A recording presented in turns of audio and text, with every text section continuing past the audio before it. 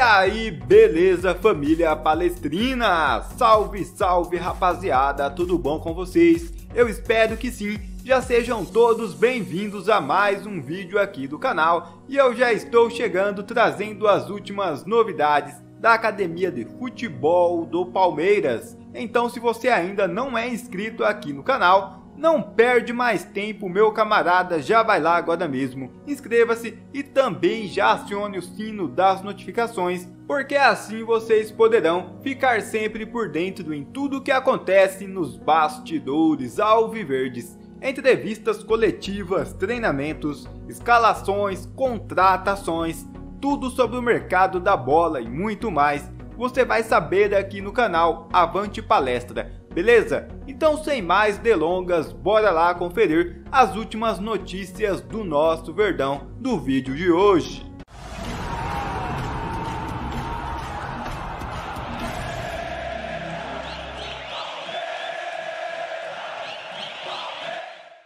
Rapaziada, o atacante Luiz Adriano do Palmeiras não se intimida e projeta o Verdão diferente no derby pelo Paulistão. É isso mesmo, o centroavante cresceu de rendimento após a chegada do técnico Vanderlei Luxemburgo e se tornou um dos principais jogadores do elenco nesta temporada. Luiz Adriano cresceu de produção desde a chegada de Luxa ao Palmeiras. O jogador se tornou o homem-gol do time. O treinador palmeirense elogiou a postura do goleador e disse que contava bastante com ele para a sequência da temporada, principalmente nos jogos importantes da Libertadores. Em uma entrevista ao portal Gazeta Esportiva, o artilheiro do Verdão já projetou o confronto diante do Corinthians pelo Campeonato Paulista. O derby ainda não tem data marcada para acontecer, mas o elenco do Verdão já está focado para realizar uma grande partida e sair com a vitória em cima do rival. Luiz Adriano falou o seguinte: espero um grande jogo, uma disputa sadia em campo e respeito pelo adversário de ambas as partes mas vamos fazer de tudo para sair com a vitória.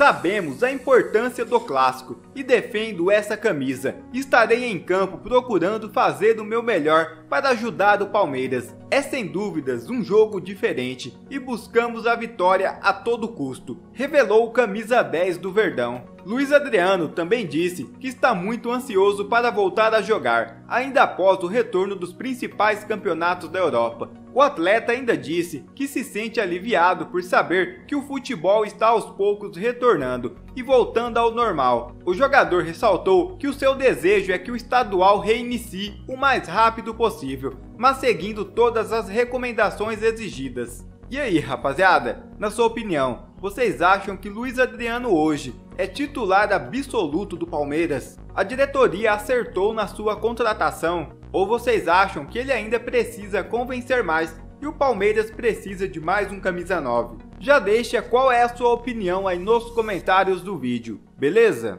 Já uma outra informação, rapaziada, sobre o Daverson é que o Palmeiras não aceita emprestar o atacante para um outro do clube brasileiro. É isso mesmo.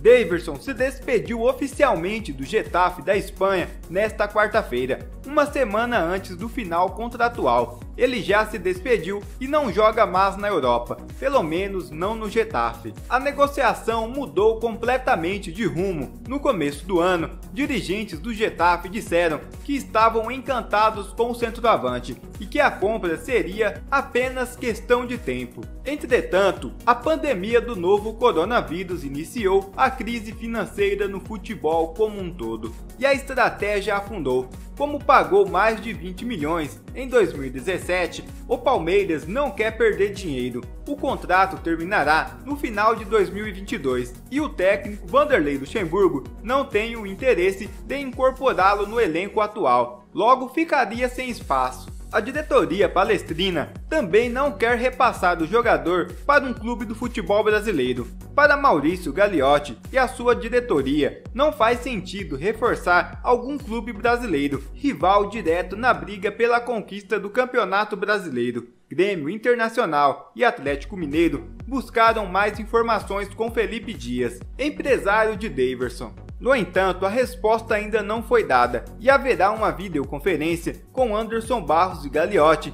para tratar sobre o assunto. Nenhum clube de fora do país ainda realizou uma proposta pelo atacante. Enquanto não acontece nenhuma negociação, Daverson retorna para o Brasil e deverá treinar em horários alternativos no Palmeiras. E aí, rapaziada, vocês concordam com a diretoria que se emprestar Daverson para algum clube do futebol brasileiro estaria reforçando um rival direto pelo título do Brasileirão? Ou vocês acham que se não pintar nenhuma proposta da Europa, o Palmeiras deveria liberar o Daverson para clubes do Brasil mesmo? Ou vocês acham que Vanderlei Luxemburgo deveria dar uma segunda chance para Daverson no Palmeiras? Já deixa sua opinião aí nos comentários do vídeo, beleza? E já outra informação, rapaziada, sobre o atacante Dudu do Palmeiras, é que o Verdão acompanha as acusações a respeito do jogador e se posiciona contra a violência. É isso mesmo. O Palmeiras acompanha as investigações a respeito do boletim de ocorrência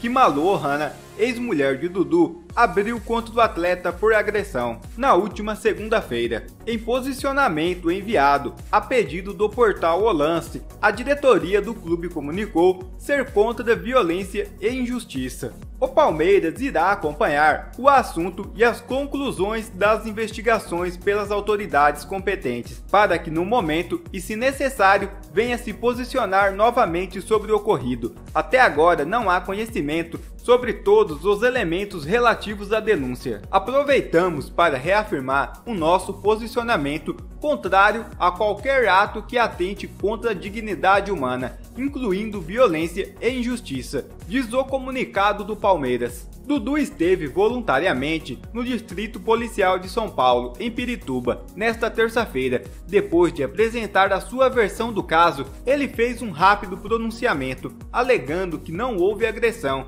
e que as imagens de câmeras de segurança provarão a sua inocência o Palmeiras realizou duas baterias de exames para a detecção do novo coronavírus nos últimos dias, além de avaliações cardiológicas. Nessa última terça-feira, o clube realizou testes nos gramados da academia de futebol, já visando a retomada dos treinamentos no dia 1 de julho. O atacante Dudu não esteve presente em nenhum desses testes. O camisa 7 era esperado no Palmeiras na tarde desta quarta-feira para reiniciar os treinos na academia. E aí, rapaziada, na sua opinião, vocês acham que Dudu é inocente em relação a acusações da ex-mulher dele? Já deixa sua opinião aí nos comentários do vídeo também, beleza? E só mais uma outra informação, rapaziada, é que Gustavo Gomes volta ao Brasil nesta quarta-feira para se reapresentar ao Palmeiras. O zagueiro paraguaio vinha tendo dificuldades, segundo o clube, para retornar ao país único jogador do elenco do Palmeiras que até o momento não se reapresentou, Gustavo Gomes deve retornar ao Brasil até o final da tarde de hoje. E se reapresentar na academia de futebol nesta quinta-feira. Depois de não conseguir voltar a tempo na quinta-feira passada, o zagueiro paraguaio era esperado no começo desta semana Segundo o clube, tanto ele quanto seus familiares realizaram exames para a Covid-19 ainda em seu país. O vínculo atual de Gustavo Gomes com o Palmeiras vence no dia 30 de junho, na próxima terça-feira, mas o Palmeiras garante que o último acordo com o Milan da Itália, dessa vez em definitivo, está em processo de registro e será válido até junho de 2024. O modelo de sucessão de empréstimo foi acertado com o clube italiano, de acordo com a diretoria do Palmeiras, para que não fosse necessário pagar o valor total da transferência em julho de 2018. Recentemente, o diretor de futebol do Palmeiras, Anderson Barros, disse que o Milan já deu entrada na Federação Italiana e o Palmeiras deve fazer o registro no início de julho. Com isso, a transferência fica definitiva para o clube. E aí, palestrinos, gostaram da renovação de contrato do Gustavo Gomes? Já comenta aí no vídeo também, beleza? Bom rapaziada, então esse foi o vídeo de hoje, eu já vou ficando por aqui e essas foram as últimas notícias do palestra desta quarta-feira. Mas em breve eu volto trazendo mais novidades para vocês da Academia de Futebol do Palmeiras. Então se você ainda não é inscrito aqui no canal, não perde mais tempo, já vai lá agora mesmo, inscreva-se e já acione o sino das notificações porque assim vocês poderão ficar sempre por dentro em tudo o que acontece nos bastidores alviverdes, entrevistas coletivas, treinamentos, escalações, contratações, tudo sobre o mercado da bola e muito mais, beleza? E também não se esqueça de já deixar o seu like aí embaixo do vídeo, que é para estar tá dando aquela fortalecida no canal. Valeu? Então muito obrigado a todos que assistiu e acompanhou o vídeo até aqui. Fiquem com Deus, aquele forte abraço e até o próximo vídeo. Fui!